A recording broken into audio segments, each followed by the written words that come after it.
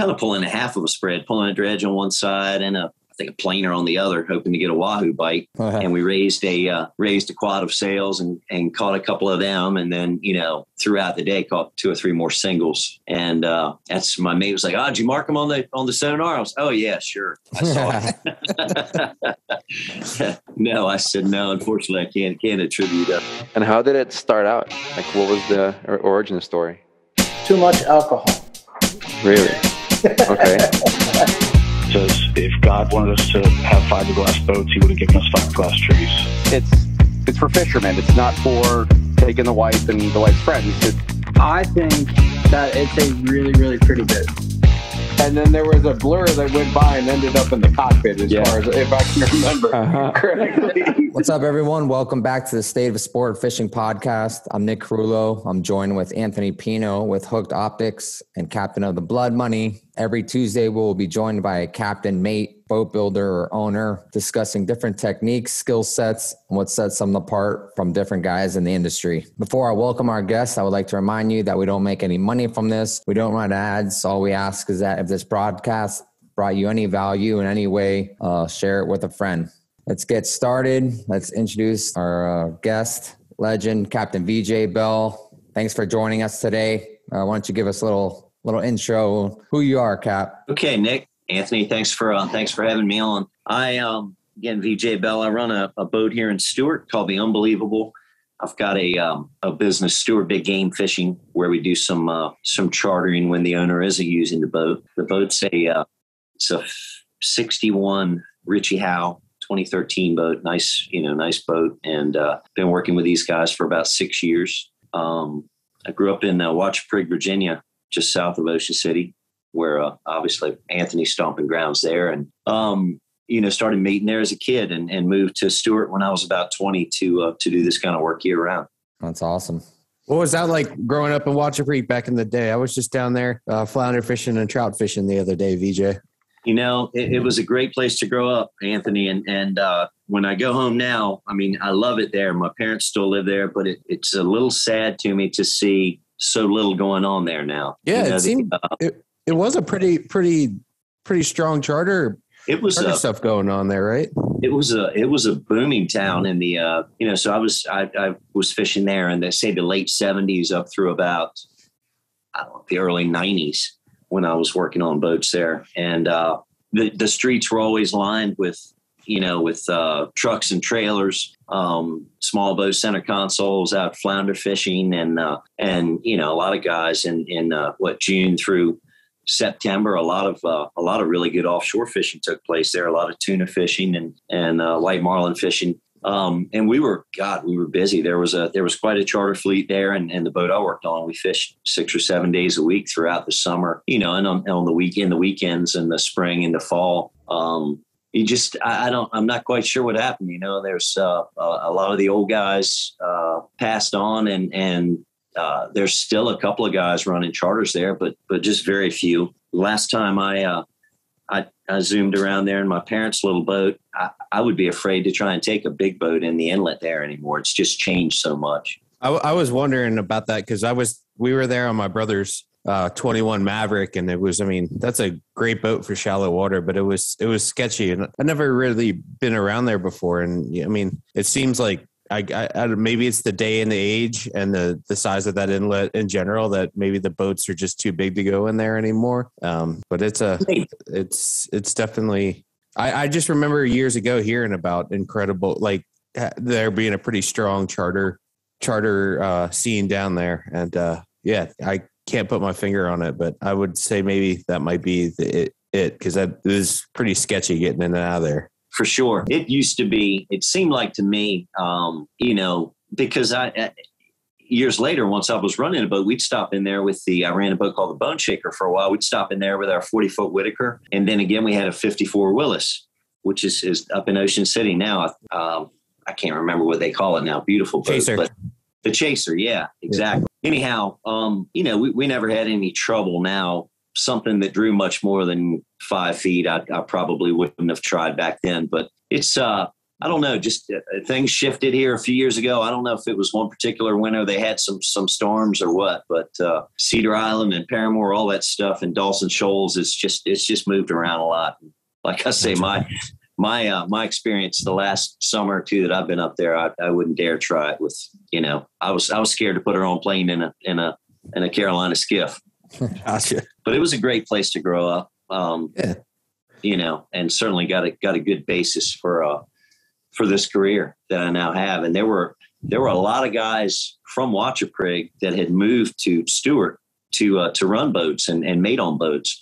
I came down here with a guy named uh, Ray Parker that had a uh, had a Whiticar that he ran here out of Sailfish Marine in Stuart, and at that time he had an old Harker's Island boat that he ran out of Wachapreague, and uh, I would I would come down here and spend the winters with him, and did that for a few years until I ultimately just moved down here and and uh, you know made When was that? Stuart- When did you move down here?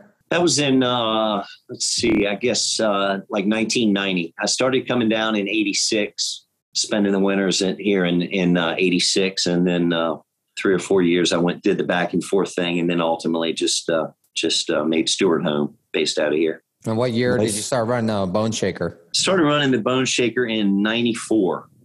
Um, Joe Lehner had had he had had that boat for a couple years prior, and I had uh, I, I got my license in ninety cap in 1992, and I ran a, a 41 Viking, which was just a, a private boat here in town for uh, for a couple of years, and then when the when that job came available, I uh, I wound up getting that, and that was you know that was a was a real career maker. He fished a lot of tournaments. Um, always had a good team of anglers uh, and just you know just really got after it and uh, so with that job i learned a lot and and kind of got a, a lot of exposure which has has really helped carry me How how old were you when you started started running running that boat? i would have been uh, 27 i guess I got you. Nice. yeah when i was on there and that was good that was a good job I did- that for about 13 years and uh, anyway you know great opportunity Were you were you younger than most of the guys running running boats at that time, VJ, or was there like a group of young guys? Maybe so. Yeah. Yeah. It didn't seem like there were, it seems like now there are a lot of, you know, 25, 28 year old guys running boats. Back then, I, I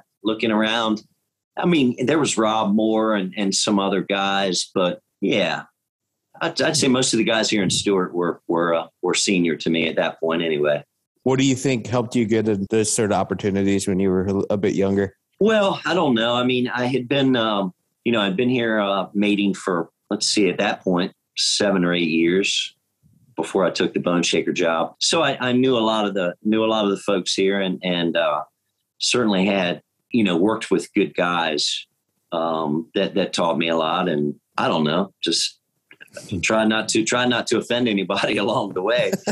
you know, you know, there's God, there's there's plenty of uh, work out there for you know for mates now. Um, Yeah. you know the main thing is like I say just just being able to get along with people and uh, treating people well and and kind of learn the fishing as as i went Yeah, so uh, that that i don't know i was you know I was looking back it was i've had other times as well where guys would give you an opportunity and and uh you know hopefully you make good on it Yeah, man.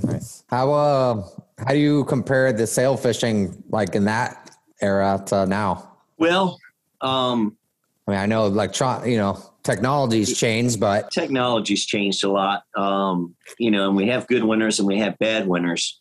Um, really, when I came to Stuart, say in the late '80s, there were a couple of guys pulling dredges. Maybe Dave Berard would would. Uh, I remember those guys rigging one uh, on the dock before a tournament there in you know '86 or '87, and it was they had seen. Obviously, they'd done a lot of tuna fishing up north with guys pulling the uh, uh, umbrella rigs and all that stuff. But to my knowledge, Dave was the, the first one that was doing that. So, you know, on a daily basis, we'd go out there and pull a couple squid chains.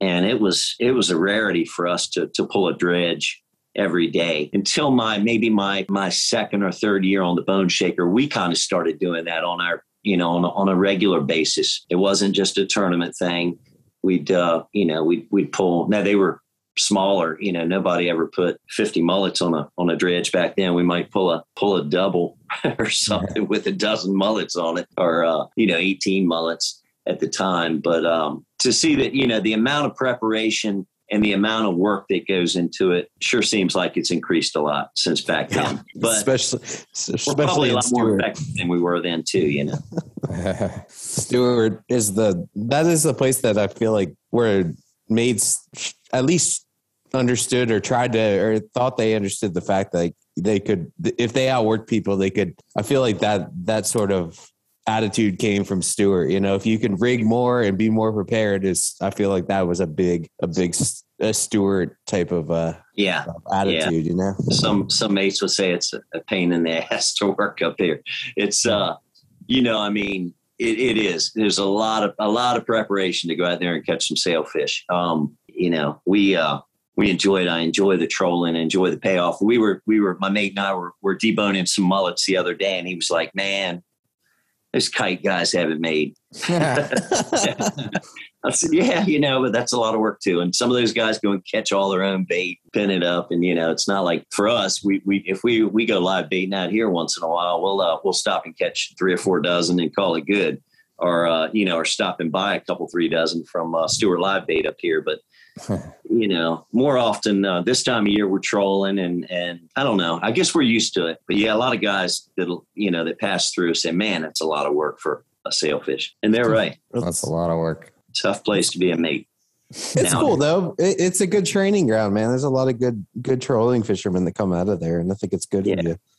Yeah, absolutely. I think so. I think so. And you got how about in uh how about in Ocean City, Anthony? You guys are are you still pulling a mixture of stuff? You pull in some mullets, a lot of mullets, or a lot of squid? Um, I, I on my boat, we did not fish a, a, a, a dead bait on the dredge the entire summer. Just two squid. well, you have pretty good, you have pretty good access to squid dredge. yeah, yeah, yeah, yeah, yeah. I mean, I think I think there's a there's plenty of boats that still that still use the do the uh, mullet and ballyhoos with the tournaments. I think I think the red the red squid dredge in the right areas is really really something to to think about when you're in the when you're in the like on the edge and the the squids are balled up there. Um, Right. But yeah, I mean we we did that, but there's plenty of people that still rig a hole. And I I had always kept a mullet and a ballyhoo dredge ready in case we needed to switch over there in in the freezer, but we just we just never did. It wasn't the fishing wasn't like this year. There wasn't a big fleet, and you know there'd be like you'd have to out present people like you do Stuart. I feel like it was very very you just had to be in the right area and get a little luck to find the right conditions and then and then you know typically most of my best days i did have a boat boat around me you know so Wow.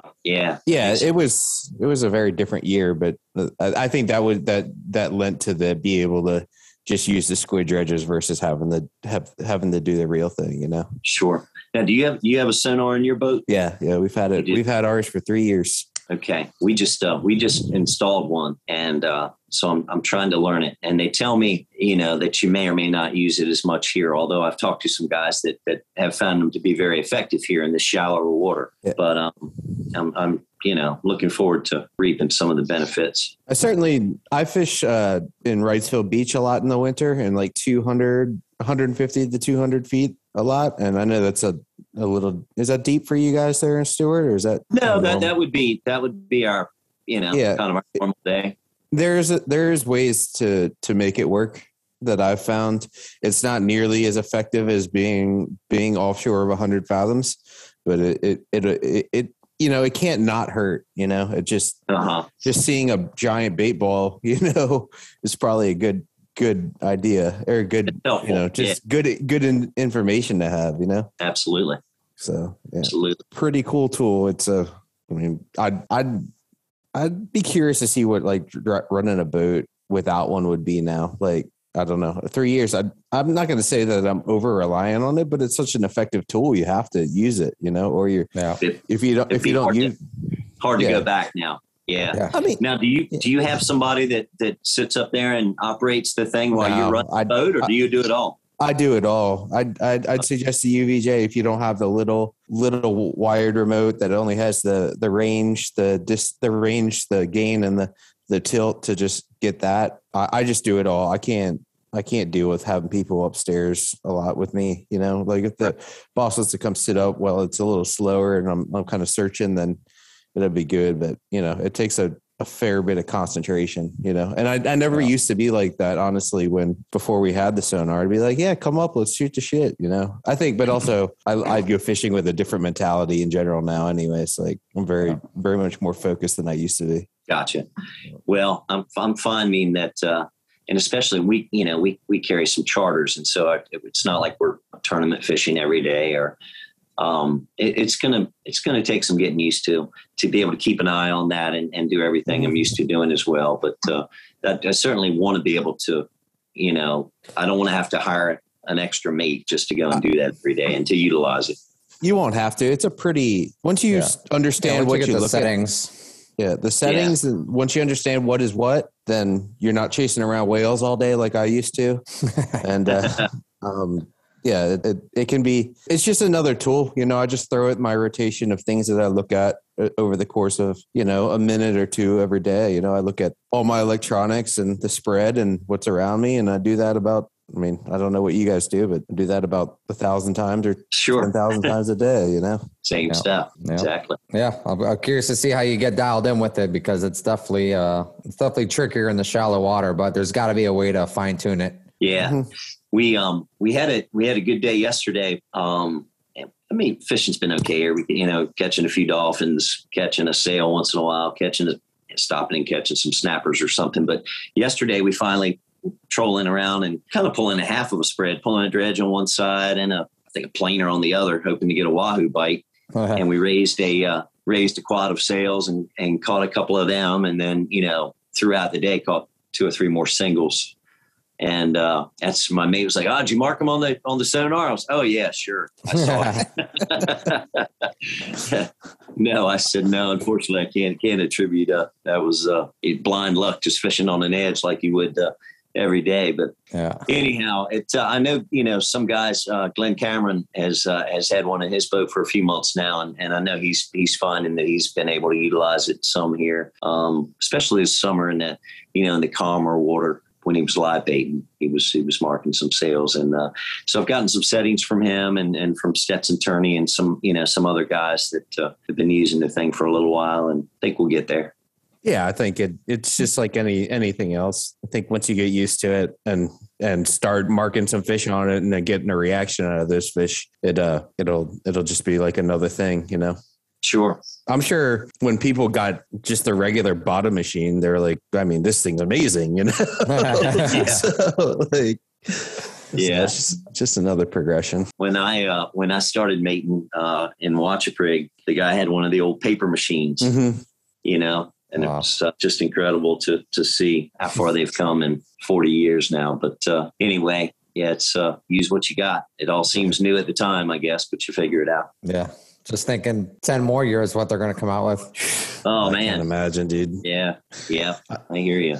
I don't. I don't even want them to come out with anything else. I think this is awesome right here. Yeah. Quick break, everyone. We usually don't run ads, but considering it is holiday season, we'll be running sales up to 50% off. So please check out our website at billfishgear.com and also check out our co host website, hookedoptics.com. Thanks for listening. I'll tell you, I was thinking uh, in the Dominican, we were there.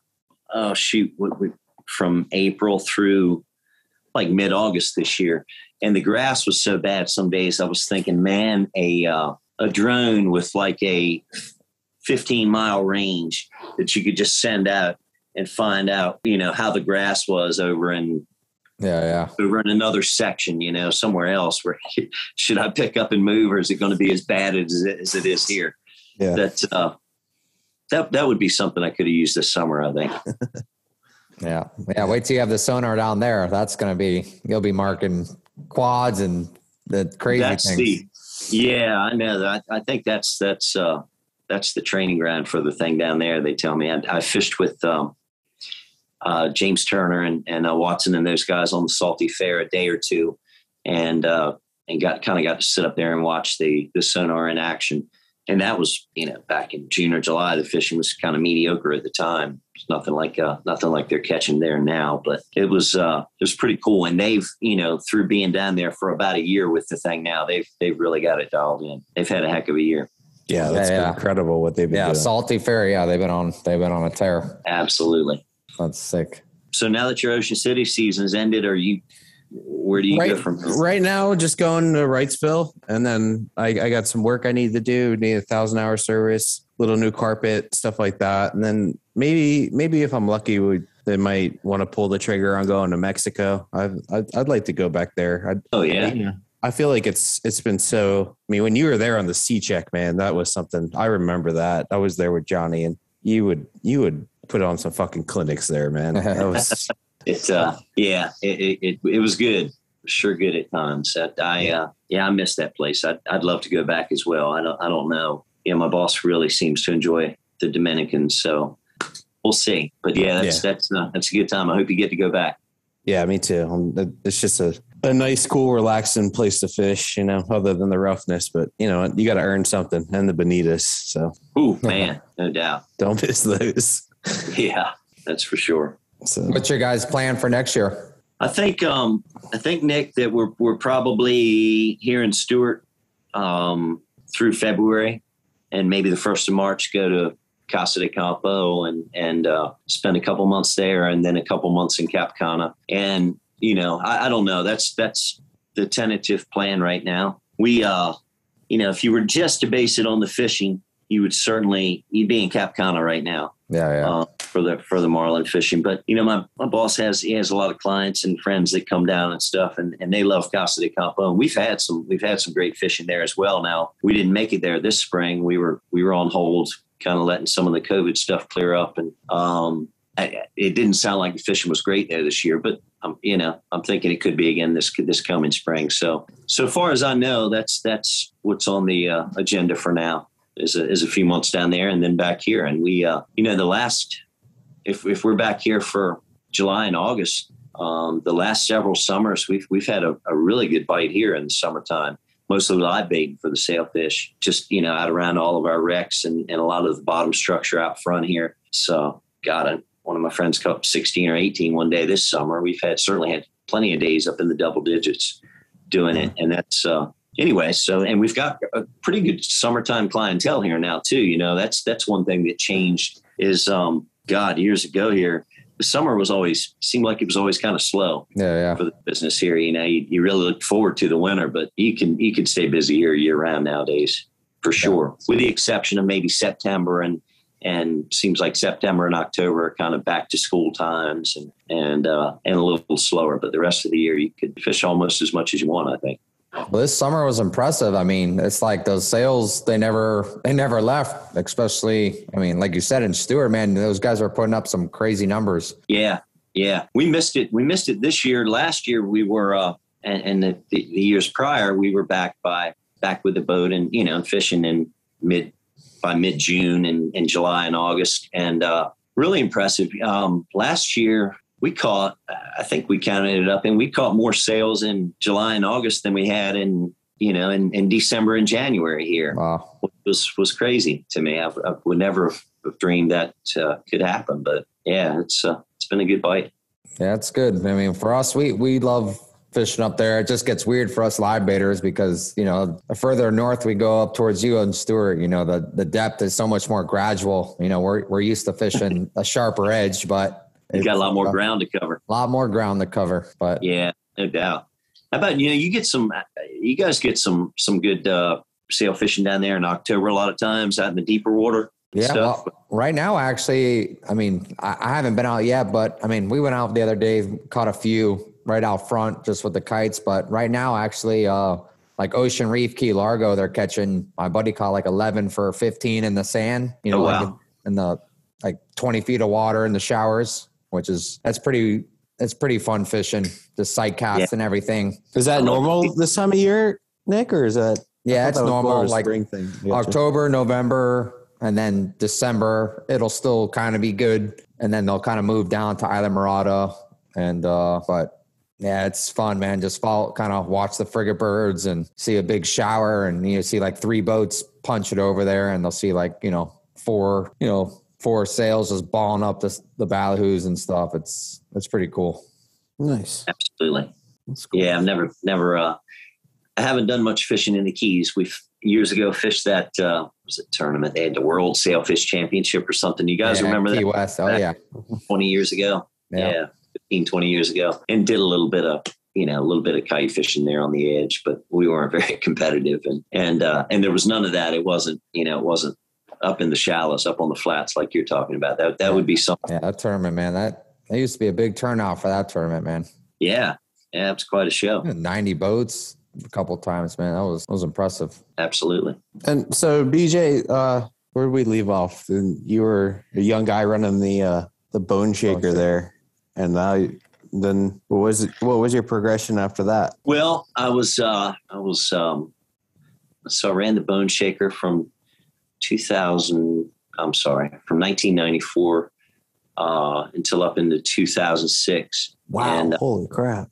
Yeah, good run. It was. Yeah, I had a, had a really good run, and uh, I wound up getting myself in some trouble at a DUI and had a hard time renewing my license. At that point, I was kind of forced into a career change and, and forced into a lifestyle change. I, I uh, actually quit drinking that year. But anyway, uh, Scott Fawcett came on to to run the Bone Shaker and had a lot of success as well. I went to work for a uh, a guy that had been probably my best charter client back on the Bone Shaker, uh, named Mike Fogel, that had a, uh, a 51 bought it, wound up buying a 51 Bertram called the Challenge, and we uh, and we ran that out of the Hutchinson Island Marriott for a couple of years. Um, and uh, I went to had an opportunity, went to work for uh, a guy that was building a, a Spencer with um, pods in it, one of the first uh, pod boats, and uh, kind of went through the the building process with him. Things didn't go quite as well as as we'd hoped, and um, we kind of decided to go in different directions. And at that point, I started running the Sea Check, which was a, a great boat and, a, and a, you know great group of guys to work for. Worked for them for five or six years. That was a '59 Spencer, and we went to uh, went to East Harris. We wound up taking that to. Um, did a lot of stuff in the Bahamas, southern Bahamas, and uh, and they let me carry charters on it while we were here in Stuart. And we wound up taking that to uh, Cap Cana in the Dominican Republic in uh, I guess 2013 and 2014. So it was great. Uh, great experience. I um at that point that was a boat that had a couple of partners. One of the partners had gotten older and just wasn't using the boat much, and uh, so sounded like that they were going to sell that boat. I uh, had an opportunity to to work for a fella that was uh, had a had just bought a Viking. Uh, he was based in Wrightsville Beach, but we kept he kept it in Palm Beach in the wintertime. And uh, that was fun. Enjoyed my and spent a couple months there in Wrightsville, did some some wahoo fishing. Got to take that boat to to uh, Casa de Campo one spring and enjoyed that. And um, there again, that gentleman, I, I, got along with great with those folks, and and would probably still be working for him today. But they wanted to get a yacht and tow a you know a center console around, and I just wasn't ready to uh, to make that transition. I just just didn't want to fish.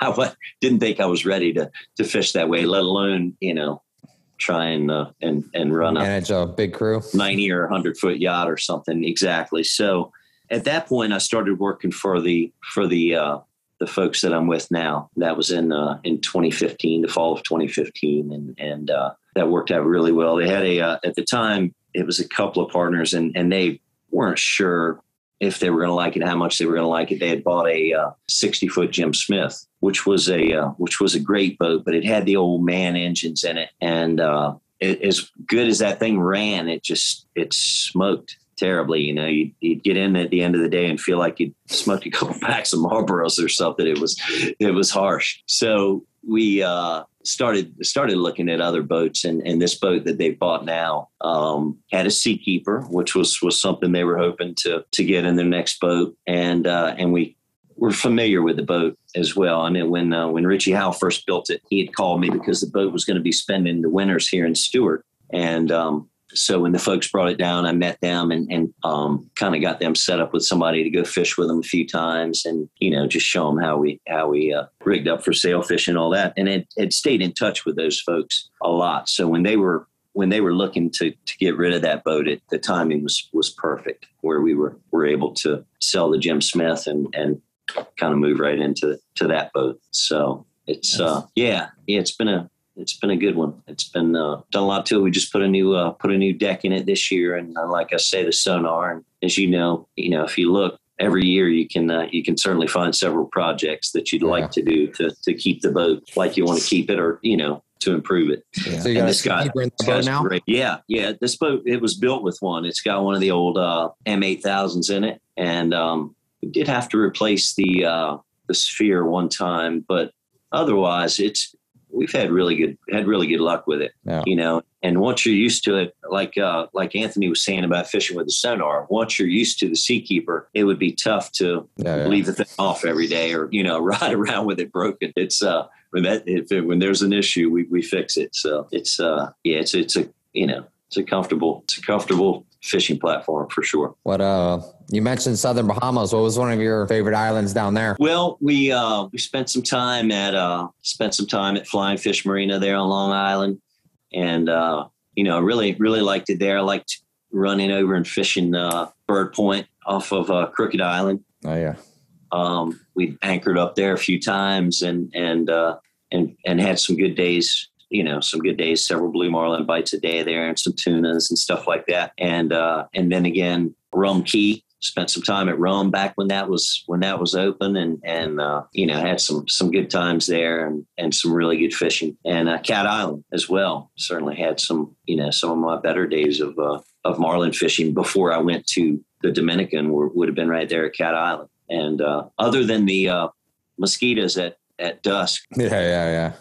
Uh, is a great spot. Great spot. But speaking about uh, the fishing around Bird Point there on, on the way home from the Dominican this year, we had occasion to stop at uh, and spend a night on Crooked, that new marina there. Yeah, yeah. And that uh, that was really cool. And I've you know talked to, of course, saw a lot of the reports and talked to a lot of guys that went there and spent several weeks or you know or months there. And man, they had some they had some fantastic fishing there this summer.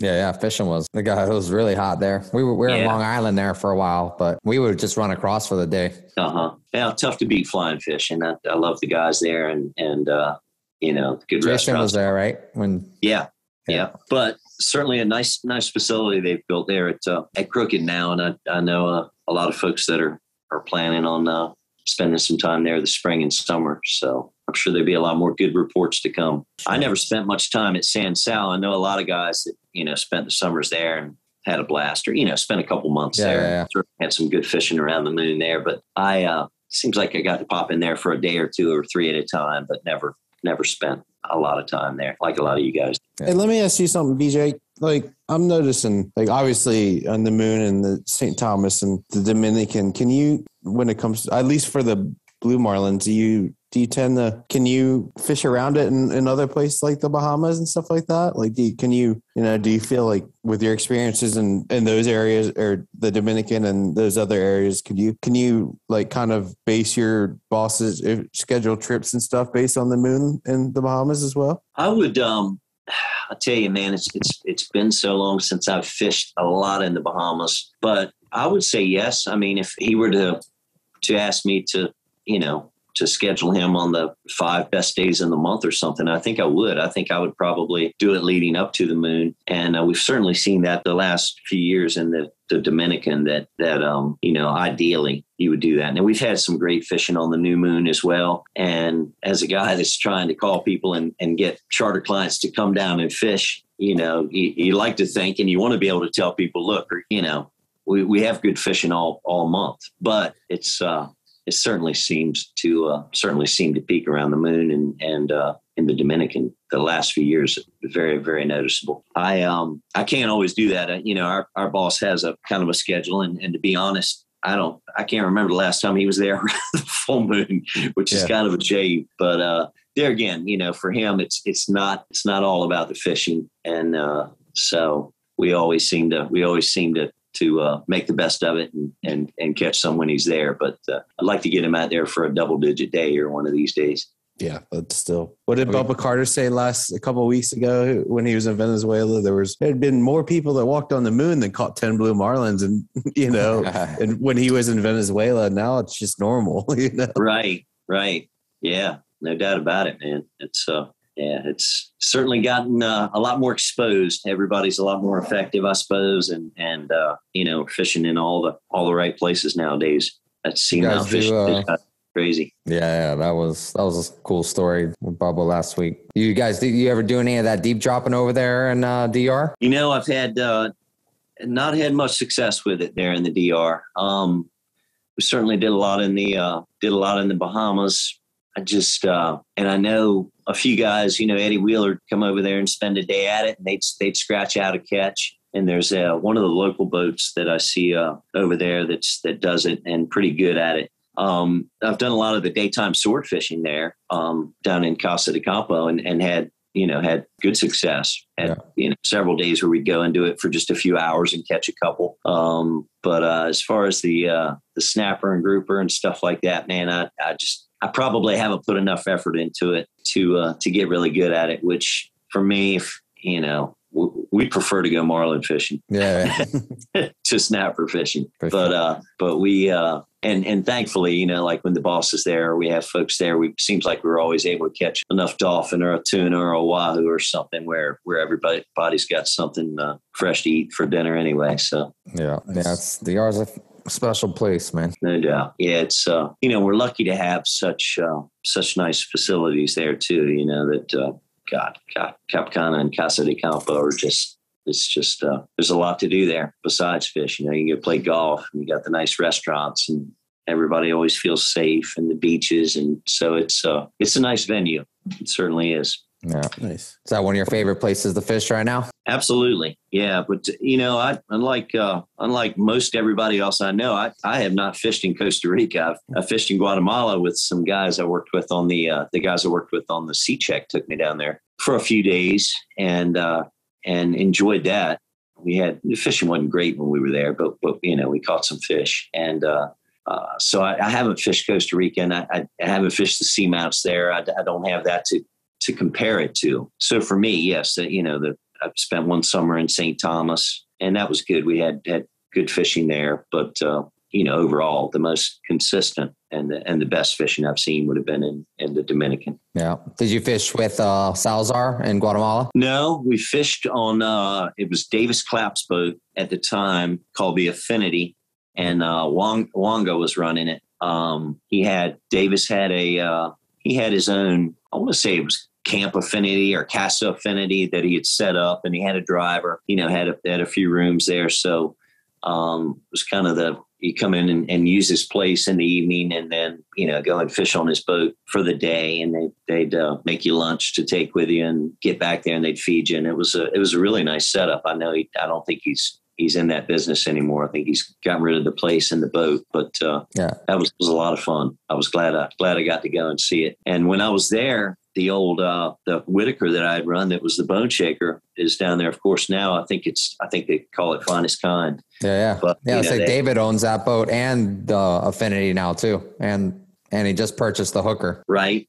Yeah. yeah, that was uh, that was cool getting to see that and you know and what they had done to it and and uh, and uh, the old girl's still going strong. That's yeah, awesome. yeah. I was there last week for a wedding. I got to fish with uh, David on the hooker, and uh, it was, it was pretty cool. Yeah, it's oh, a great. You had a great day, didn't you? Like, yeah, it was 14, a fun day. Ten for fourteen sails and blue marlin, something like that. Ten two? for fourteen and two blues. Oh wow! Yeah, that's uh, and then very good. Can't be not a dredge, just just two teasers, three teasers. Yeah. You do the three down the middle. No, they do uh so, yeah, two squid chains and then just two cockpit teasers. I got you. Simple. Yeah, you don't you don't dare pull a dredge there, do you? I know they uh, they didn't yeah. uh, they didn't want to start that stuff down there. No. Uh, no. You can't play it. You don't need it. Doesn't sound like they're having incredible fishing there now. Yeah, I know that I left now and I see I think the top boat this week had like 47, 47 for 59. even and is is this their normal season? This isn't their high season. I would there. I would say that this is as far as I know the the October, November into December is a is okay. a really good time to be there. Gotcha. So I mean I don't really think there's a bad time to be there, but yeah. this is definitely uh it's definitely good right now. I mean mm. it was like it was like slick calm. It was like it was like this is this is easy fishing, man. Yeah. Man, hard to beat. No, wow. there the critter, just the lack of critters there is just so great. Like the critters there is like a thirty pound dolphin. Yeah, like I don't like it's just the uh, lack lack of just getting eaten up by bonitas and stuff is is kind of awesome as well as the typically calm weather. Sure, sure. What would you say, VJ? I mean, you've had a, a great long career and you know worked for some guys for like for some for for some boat owners for quite a quite a long time. Like what advice would you give young guys? I mean, I've been in my job for nine years, but I only think it's because my people put up with me, not because they actually like me. They're just they're just like he's he'll do, you know.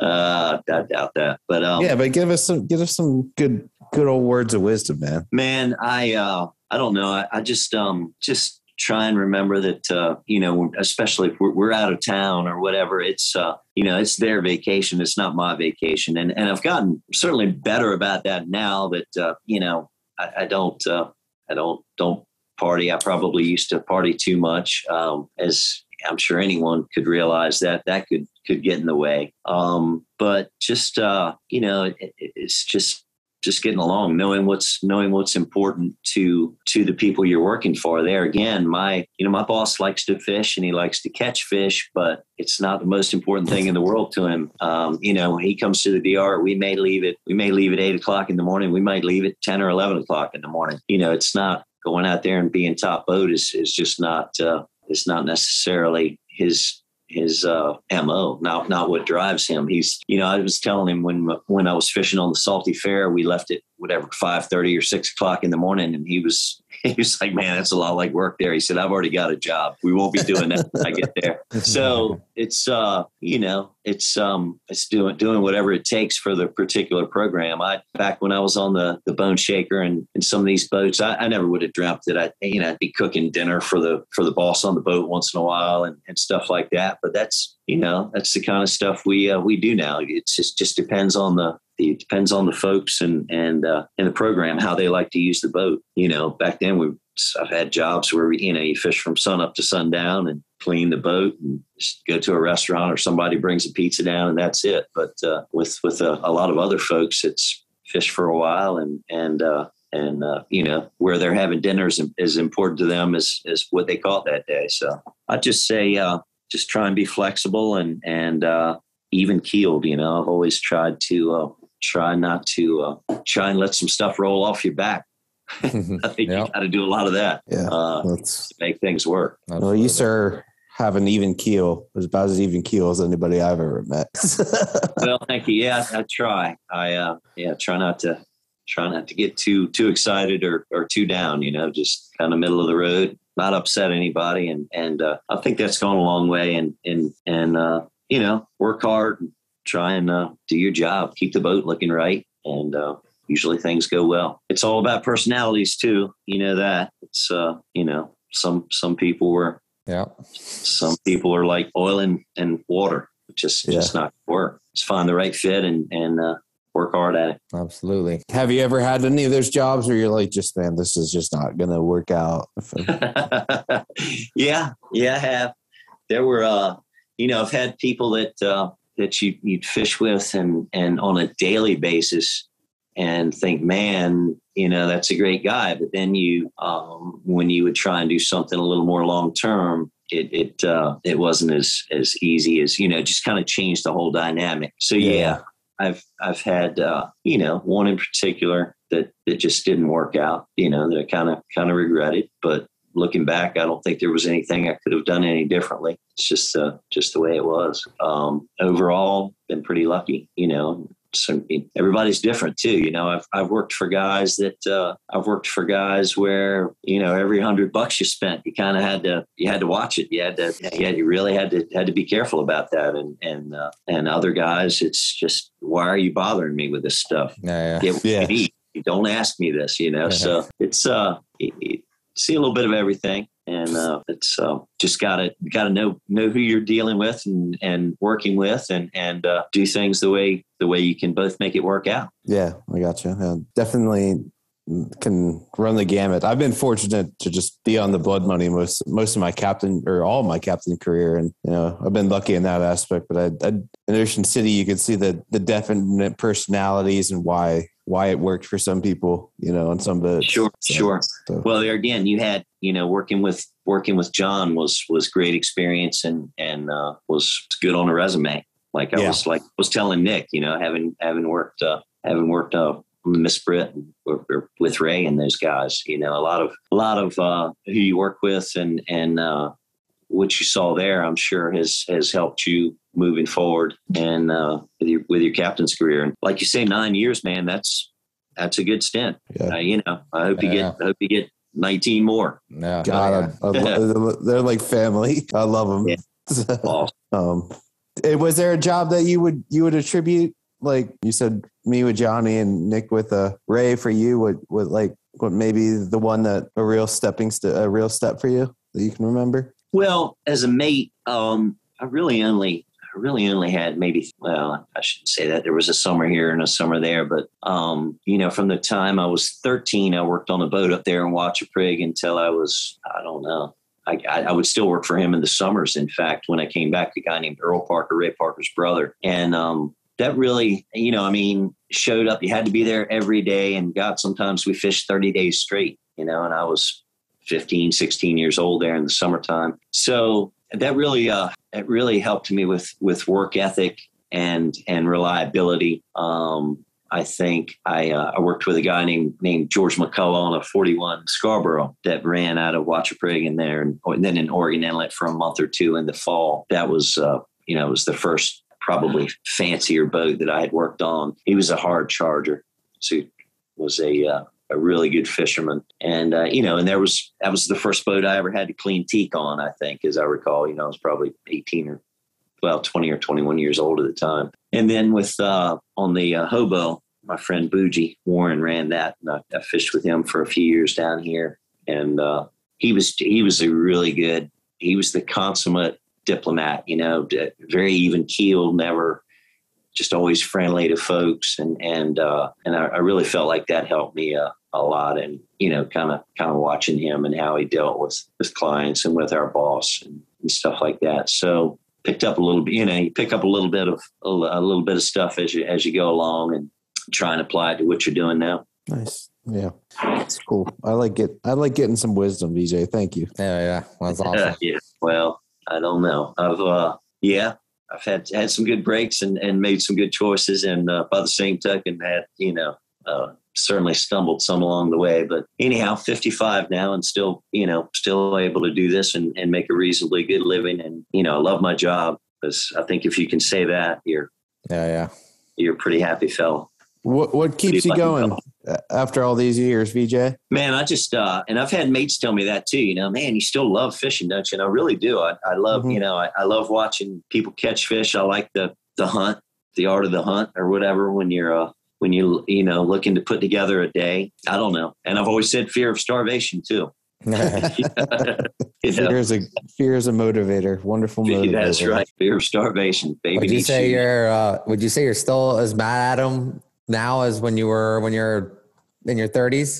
You know, I, I I think I am, but uh, there again, I'm not a. It's not really a, a program where we're where we're pushing so hard. But so Yeah, I don't yeah. know. I mean, if I I'm going to get to fish a few tournaments this winter, I think a couple on a on another boat um, with a fellow that's that just bought a boat that uh, was in it years ago, and and uh, my boss will be here, so I think I'll get to fish a couple tournaments there, and I think my boss will fish one tournament. Um, you know that man, the tournament thing, it's uh, it's a lot like football. It's definitely a team deal Oh yeah. you know you gotta everybody's got to be be committed and serious and and uh, so sometimes sometimes when i go and, and fish a tournament now and we're i feel like we're we're putting in about 50% effort it makes it hard it makes it hard to to to get into it you know if you got you got anglers that just haven't you bring anglers along that have never hooked a fish and, and put them in a you know a tournament environment um, stuff like that just I think I'm I think I'm as mad at them, but I, I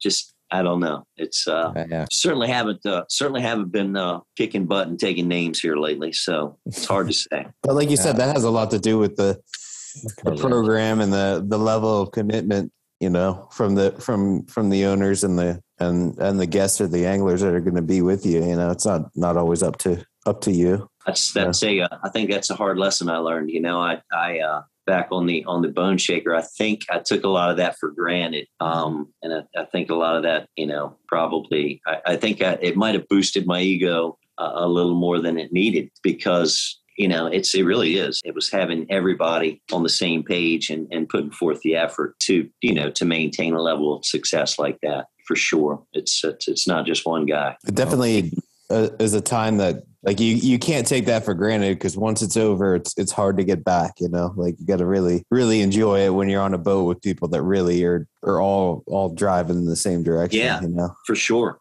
for sure enjoy it while it lasts because it's you know you never know it's Yeah. it's fun. And but the next gig may be a little different. Nikki, what are you, what's what's fishing on the Showtime like, man? Like, is it a you got? It's mostly younger guys, right? Uh, yeah. I mean, all I'd say early 30s kind of range. Uh, maybe a couple over 40, but I'd say that's definitely uh, you know a key to success is you know it's a group of guys that are you know just about as angry at them as I am because I'm furious at them. And I mean, if I mean if we miss one on a, a pre fishing day before a tournament, I I mean, I, I, let him have it. I was like, just like you know, Bill Belichick lays it on somebody. You know, it's like, yeah. I mean, I just. But you got a you got a group that can, you know, some people you can't just lose your shit. Like I learned when I was younger running this boat, I would I would I would have my fucking prima donna meltdowns, and it I had, they had to talk to me a couple times, and thankfully my bosses were patient enough with me when I was young. You know, 20, 25, 26, and they were patient enough with me to to let me learn, and they guided me a little bit. And I mean, but some like on the Bill Fisher, it wasn't. It was very normal to just just get screamed at, you know. so, but like that's where, and I came from that boat to this, so that's the only thing I really knew, oh, yeah. you know. And then I, over the years, I learned that you know that ain't gonna work for our group, you know. Like yeah. you said, VJ, just just understanding who you're who you're working with, you know. Yeah, yeah. Right. Yeah. Right. Then, exactly. I mean, that's all so, I but, knew at the time too. Being like I said, I you know I work, I grew up fishing for Ray Rocher, and yeah, yeah. He, he, might seem like the nicest guy in the world to everybody on the dock, but working for him, I could t- I could promise you that's not the case. yeah. yeah. I hear you he'd let you have it. Huh? But oh, your yeah. your your guys are con- uh, I don't know if they're conditioned or they're just you know young guys are, can deal with that a little bit better than maybe having like a 25 year old kid yelling at some dude that could be his dad. You know? right. So, well, Nick, I'm, I'm sure that um yeah I mean the God the kite fishing you guys are doing that's I know it's a ton of work. I you know I made light of it earlier about uh you know us not having to cut mullets and all that, but I know there's a ton of effort and you know it's like you say what six or seven guys that are all dead serious all day long and busting their asses. I, I you know, I know it's uh, it's a lot of work to do it the way you do it and, and be successful at it. Yeah, it's I mean just just like dead deadbaiting, man. You just you got to be focused. You know, you can't really you got to have guys working the rods. You can't have guys you know just drinking, getting drunk. You know, not paying attention because it's a matter of seconds. You you know that fish beats you to the bait. It's over. Yeah, sure. Yeah, and as competitive as it is there, I feel like you guys are super competitive. Like one fish, it just you know could be the difference between a lot of money and not so much money. yeah.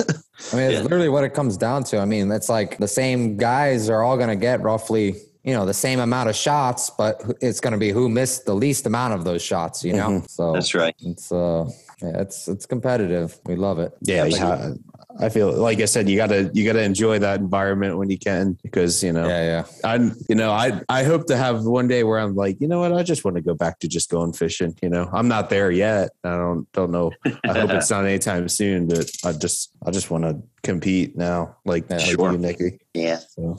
I uh I'd be remiss if I didn't mention I've, I've been lucky. I've had uh the same mate with me a guy named John Stukel for about five years now oh, since wow. he was since he was 20. There you and, uh, you know, he's, I mean, he'll be, a, he'll be a good captain, be a great captain here one of these days. I hope it's not anytime soon. I hate to see him go, but, uh, you know, it's, it's there again. It's nice to, to know that you got a guy that's going to be there every day. Um, and he is a lot of those things, a lot of those qualities I was describing, you know, as far as even keeled and, and, you know, he's good. I've, I've had mates that, you know, you miss a fish and slam a rod down and, you know, f this yeah, yeah, and f yeah. that and, and that's you know you just can't can't do that in what we're doing with uh, you know that wouldn't work with my boss and it, it doesn't work with our clients so um you know, I just kind of wanted to uh, to mention him and, and to how important that is to to to to having and maintaining a, a good uh, a good program.